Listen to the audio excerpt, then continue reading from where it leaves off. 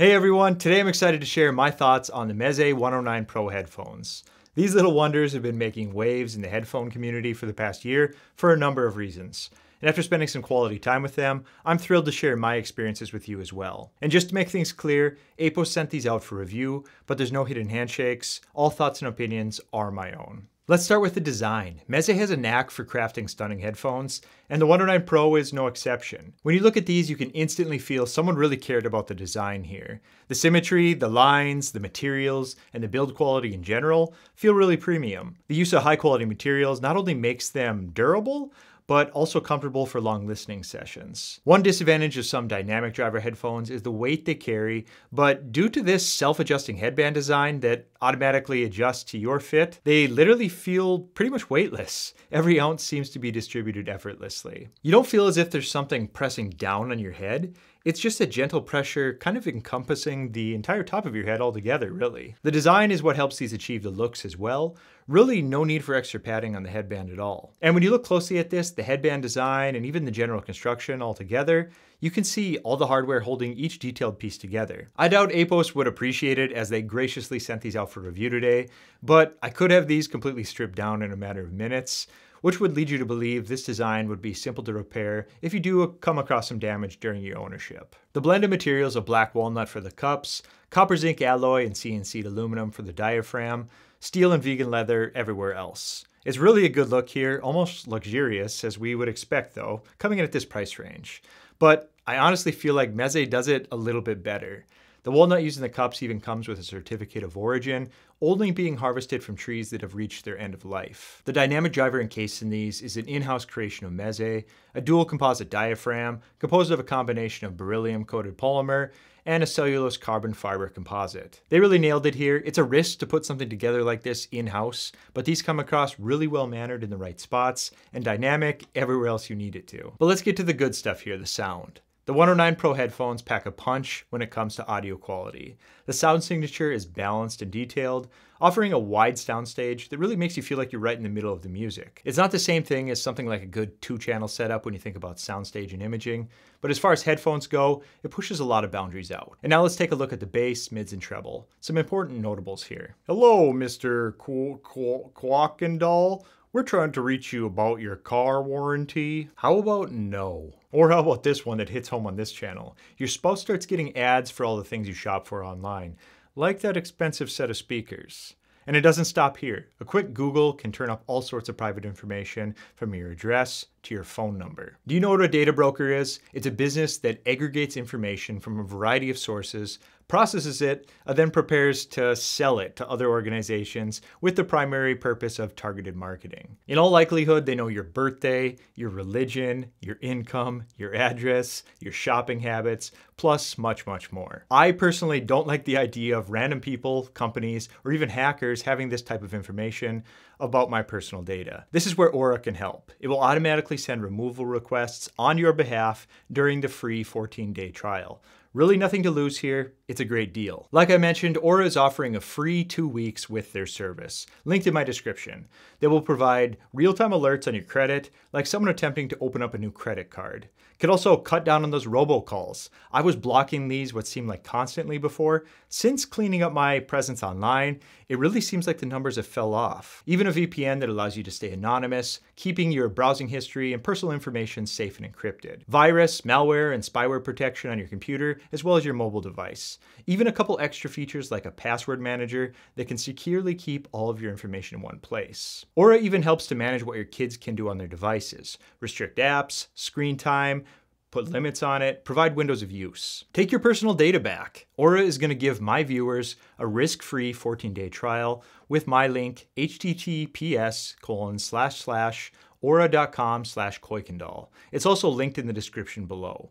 Put your information in and see what comes up. Slow down those robocalls and all these people trying to steal your identity and simply worry less. Now let's get back to the video. The bass on the 109 Pro is punchy without being overpowering.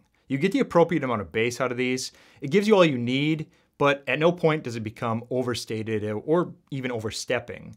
These are not a basshead headphone. If I was pressed to describe it in three words, it'd probably be something like clean, fast, and punchy. I can note that although these are not the basshead's dream, they do take EQ well. The drivers are certainly capable if you're looking to boost within that range. The mids, they'll invite you in, offer you a drink, and then after some time, can turn into just a touch in your face. But it's not over the top.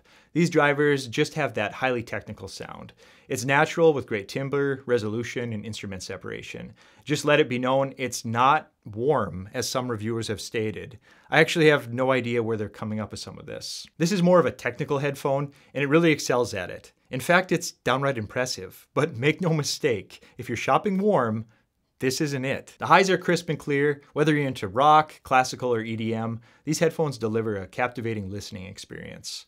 A lot of great detail retrieval here. There is a little bit more bite and shine here. This follows the same considerations as the mid-range. It's more of a forward sound, but it's done with intention.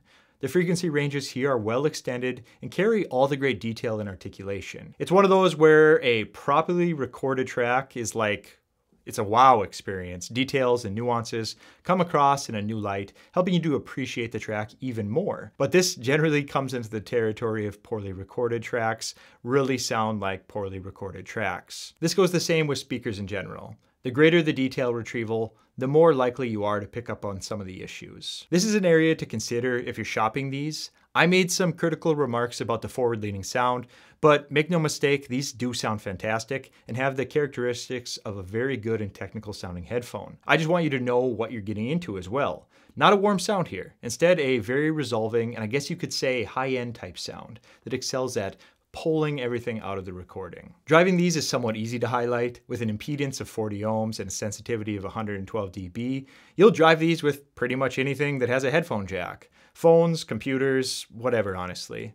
It's one of the things to consider if you're shopping these. A lot of headphones in this price range are more of a can be powered with a phone, but it's not really recommended generally with the requirement of a desktop amp to get the most out of your purchase. The 109 Pros still benefit from the dedicated rig, but the performance jump won't be nearly as noticeable as the difficult to drive varieties. So you might end up spending a substantial amount of money on the headphones themselves, but end up saving a lot either running them direct out of your phone or computer, or what I would suggest, just a simple dedicated amp. I have these paired up with the new Midgard amp. It puts out way beyond the 109 Pro's wattage requirements, it sounds great, but not completely necessary. Another impressive aspect is their portability. They come with a sturdy, hard carrying case, making it convenient to take them really anywhere without worrying about damaging them. Everything about this headphone comes across as quality. I've yet to look at anything and think, oh, that's an afterthought. Even when you look at this hardshell case, the shape, the emblem, the zipper, the lining, it's all just a high quality delivery here that makes you feel good about the product. I guess as Deion Sanders once said, if you look good, you feel good, and if you feel good, you play good. Inside the carrying case, you'll find an accessory pouch with a 6.3 millimeter jack adapter and two cables, both 3.5 millimeter. One shorter, which is around four to five feet, and there's a long one that comes in, I think, close to 10 feet. The cable quality is fine. It's a rubber soft feel. It doesn't tangle very easily, but it does have a bit of recoil that takes a bit of taming at your desk. If anything, it feels like it would last, and there's plenty of upgrades for people out there if you're inclined to that sort of thing. Comfort-wise, like I mentioned earlier, Meze has nailed it. The ear cups are plush and provide a comfortable fit that doesn't cause fatigue during extended use. I never had the oven ear feeling that you can get when it feels like your ears are on fire. There's good breathability. These might be something you could play around with as well if you wanted to alter that bass presentation. A more dense cup may increase that low frequency bump without the addition of EQ. Let's cover a quick set of pros and cons and then wrap this one up. Pros, the quality and just design in general is top notch here. Think best in class type of build. The blend of materials and construction is the whole package. The drivers on these produce a sound of precision, detail, and refinement.